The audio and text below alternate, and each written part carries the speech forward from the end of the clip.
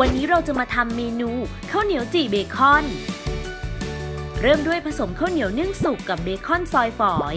และเครื่องปรุงรสสูตรเผ็ดตราโกกิเข้าด้วยกัน ปั้นส่วนผสมข้าวเหนียวก้อนละ 20-30 กรัม เป็นก้อนกลม จากนั้นใช้ฝ่ามือกดให้แบนลงเล็กน้อย เสียบด้วยไม้ปลายแหลม ไม้ละ 2 ชิ้น แล้วนำเข้าแช่เย็นจนส่วนผสมทรงตัว นำข้าวเหนียวที่เสียบไม้ลงคลุกกับแป้งทอดกรอบราโกกิให้ทั่ว จากนั้นจุ่มลงในไข่ไก่ ตีพอแตกเตรียมไว้ค่ะ